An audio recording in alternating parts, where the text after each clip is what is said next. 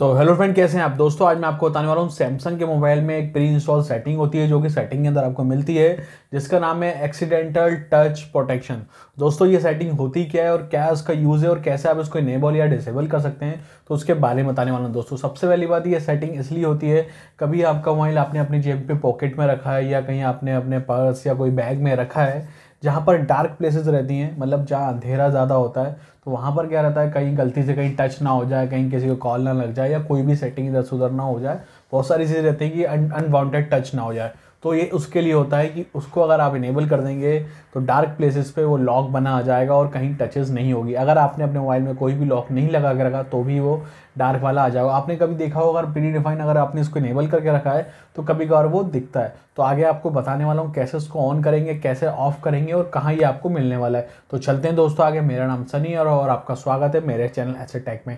दोस्तों सबसे पहले मैं आपको बता दूँ ये होता क्या यार कहाँ दिखता है? आप देखेंगे मैंने अपने मोबाइल को लॉक कर लिया है। लॉक करने के बाद मैं इसको जैसे ही खोलूँगा थोड़ा सा मैं इसको डार्क मोड दे दूँ। अब आपको दिख रहा होगा दिख रहा हुआ एक्सीडेंटल टच प्रोटेक्शन ऑन हो चुका है। अब जैसे ही मैं यहाँ से सेंसर में हाथ हटा दूँगा, आप देखेंगे हट जाएगा।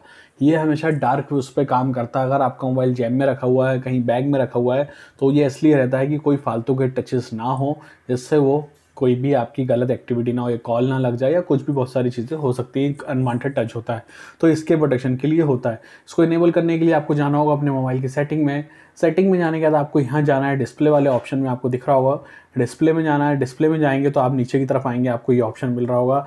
एक्सीडेंटल टच प्रोटेक्शन आप देख रहे हैं बाय डिफ़ॉल्ट ये ऑन रहता है, या कहीं किसी किसी मोबाइल में ऑफ़ रहता है। आप देखेंगे, इसमें लिखा भी हुआ है protect your phone from accidental touches which in dark place such a pocket और आ बैग आपको जैसे अब मैंने इसको बंद कर दिया, अब उसके बाद मैं अपने मोबाइल को ऑन आप देखेंगे, अब यहाँ सेंसर पे हाथ भी रखूँगा तो कुछ भी नहीं आएगा, कुछ नहीं आएगा, क्योंकि वो बंद हो चुका है। तो अब कहीं भी मैं टच कर सकता हूँ टच हो जाएँगे। अगर वो इनेबल रहेगा तो मैं कहीं भी टच नहीं कर पाऊँगा जब तक कि उसको अनलॉक नहीं करूँगा। अब देखेंगे कैसे?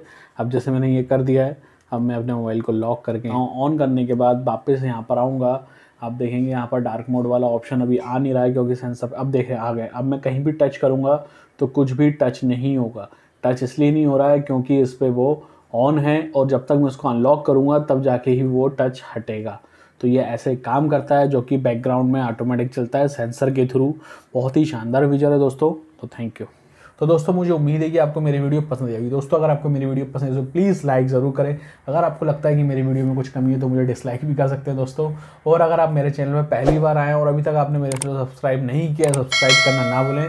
मैं ऐसी टेक्निकल वीडियो बनाता रहता हूँ जो आपको फट से नोटिफिकेशन मिले और नोटिफिकेशन बेल वाला आइकन को भी दबाना ना भूलें। और मुझे इंस्टाग्राम और फेसबुक फॉलो करना भी ना भूलें। इसका लिंक आपको डिस्क्रिप्शन पर मिल जाएगा। तो थैंक यू दोस्तों।